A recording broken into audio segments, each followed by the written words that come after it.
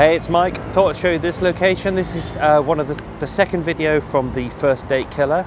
Uh, the first one I would have shown you was with, over in uh, Richmond. That's over about five or six miles away. This is uh, this is uh, Shepherd's Bush Green, Uxbridge Road just up there, Goldhawk Road by Iffley Road where Katerina Konyeva was murdered. Uh, this is the BP garage on Shepherd's Bush Green. It's here that Karl Taylor, he'd just stolen the car from Kate Beagley.